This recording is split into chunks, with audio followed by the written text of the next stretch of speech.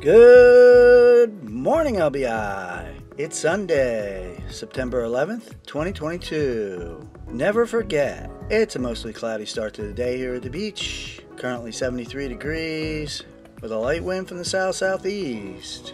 We're gonna have a mostly cloudy day. Chance of rain. High of 75, low of 69 tonight. We got a sunrise 634, sunset 711, and we've got 98% of a waning gibbous moon tonight. There's still a good sized groundswell sweeping onto the sandbar this morning. We got a high tide 10:27 a.m., low tide 4:52 p.m., and the ocean water temperature's in the upper 60s. So come on down to the beach. Get those toes in the sand. Stay above the weather and enjoy this Sunday 9/11 on the beaches of LBI.